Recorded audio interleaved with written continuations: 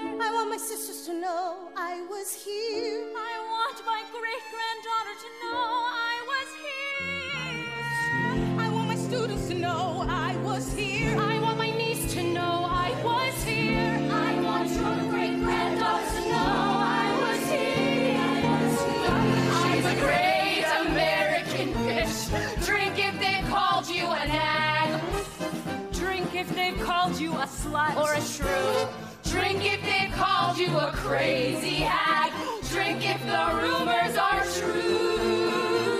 Wow, fabulous. That is a quick look at the new Broadway musical entitled Suffs, a production rich with history about the suffragist movement and the pioneering women at the heart of it, who marched, organized, protested, and devoted their lives to finally earn women in America the right to vote, declaring once and for all that it was not just American men who were created equal. And joining us now, former Secretary of State Hillary Clinton, who serves as a producer on the show and composer and author and star of the musical, Shaina Taub. She also scored and wrote the production for which she received two Tony nominations. Suffs received six nominations in all, including Best Musical. I love this in so many ways. Um, I'm going to start with, of course, the former Secretary of State, former presidential candidate, and our friend Hillary Clinton, because now you are a producer. Congratulations. You needed to do more, you know, more accomplishments on your resume. So I'm glad that you uh, found something. Um, but in all seriousness, tell us about everything that drew you to Suffs. Well, Mika, it is such a joy to be here um, with you and everybody on this set to talk about something that has brought me a lot of joy. And in this election year, yeah. we need more joy, to be honest. And yes. going to see how the struggle finally ended for women to get mm-hmm. the right to vote with the passage of the 19th Amendment is not only a thrilling experience because of the extraordinary work that the young woman sitting next to me has done in bringing mm-hmm. this uh, piece of our history to life in such an entertaining way, but it's so relevant today. And I just can't stop, you know, humming. I, thankfully, I don't sing for anybody around me, but humming the score. Uh, I, I, go around quoting lines from uh, the musical. It has just been so exciting. You know, at a time right now when we've lost 50 years of rights and we're fighting for uh, those rights back and more, it's actually a wonderful time to sort of relive the history of what women did to trying to get to where we are today. And, and I, I am going to get to you about uh, abortion, Madam Secretary, and where we stand in the election in just a moment. But Shaina, uh, let me let me ask you about Suffs, and you scored and wrote the whole production. Um, it looks incredible, and it's getting so much buzz. But who do you hope? Tell us about it, and who you hope will go to see it.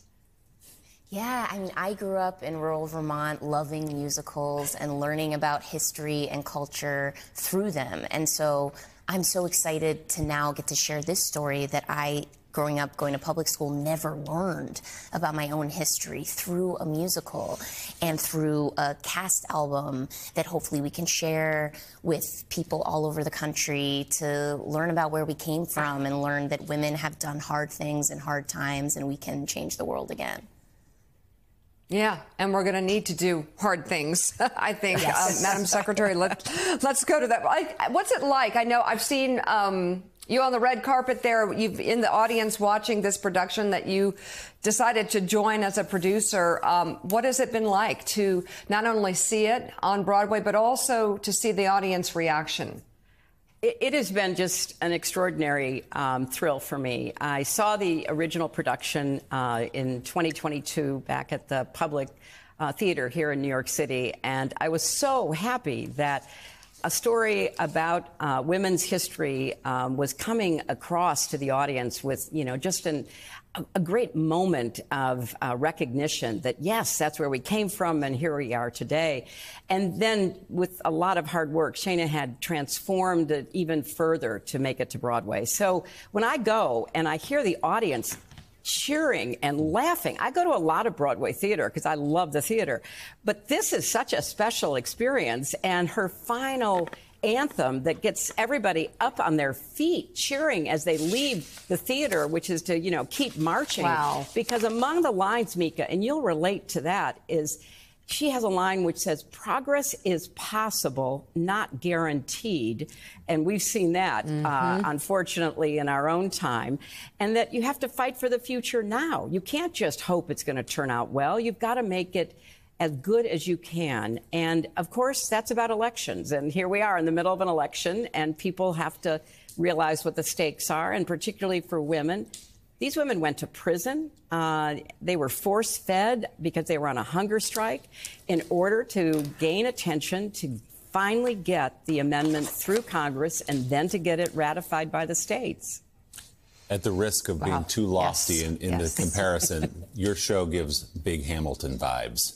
By that I mean telling so beautifully and, and so in such a smart way a story of history, and you give big Lin Manuel vibes, and that's as high a compliment having written the book and the music and starring in it and done everything else. And I love when Secretary Clinton says she saw the show at the public in 2022. You had heard she was in the audience, and what did you do next? You sat down and wrote her a letter. I was so thrilled that she was there, and she's, of course, been an inspiration to me and so many in our cast for our whole lives. And when we were gearing up for Broadway, we thought who would be our dream partner to bring this story and this history to a larger audience. And of course, it was Secretary Clinton. So I wrote to her and just expressed how her campaign and her whole life's work for the empowerment of women and girls in this country and around the world had inspired us through our development journey on Suffs. And I was so thrilled when she wrote back and uh, agreed to come on board because I think she understands storytelling and uh, music and theater have a role to play in the movements for equality and justice because it humanizes the issue for people. When you started writing this a decade ago or so, maybe even a little bit more, this has been really a labor of love for you. So, what has it been like? How gratifying to see this reception, to see the theater full every night, to get six Tony nominations? What does that feel like? It's thrilling and just to feel all of the hard work that I've put in and all of my collaborators, you know, through a pandemic, through so many years. Theater is hard work, but it, the best part about it is it's a collaboration. So to now have these moments of joy, which are so important to celebrate, to get to share that with my cast and producers, it's thrilling, yeah. So, on the other side of that letter, Secretary Clinton, when that comes across your desk from this show that you loved at the public, what were you thinking about your role? Well, I was surprised to to be honest, and I was very touched that Shaina had written to me. And then I started to think, well, you know, storytelling is a big part of politics, and it's a mm. big part of what we have to do a better job of in our country. We have to tell the story of our past, but we also have to tell the story of where we are right now and what we want for the future. And I got really excited. So I immediately uh, responded, said I'd be more than happy to help. And she took me at my word. She, you know, sent me, you know, videos. I went to a, a, a, reading. Um, I, I got so involved in it. And I have to say, in, you know, you and I, before we went on, um, Willie, were saying, you know, some days are kind of hard in this election season. Other days you get, you know, hopeful about the outcome. But I get so hopeful when I both go to see and think about uh, what Shaina has created. It's an original American musical. There aren't many of those. In fact, I think it's the only one nominated uh, for a Tony this year. It came literally out of her heart and her head. And it is so important that we have as many people thinking about where we came from and where we are and where we want to go, especially this year. So, Shaina, you, as Willie's mentioned, started this over a decade ago, but does it have a new relevancy now in today's political climate? Because this is about a battle for rights, and as Mika mentioned at the top, some rights have been taken away and others or could be at risk. Absolutely. I mean, when I was beginning to write this, uh, it, we were on the precipice of another election, but now to be doing it here in 2024, when Roe v. Wade has been overturned, we all feel a renewed sense of urgency to remind people, and especially remind women, of our electoral power. That we, when we come together, we can fight for our rights. And uh, yeah, it feels more important than ever. Shaina, um, and Mika, Shaina is the second woman ever to write the book, music, lyrics, and to star in her ah. own Broadway musical. Second ever. The last one was 52 years ago.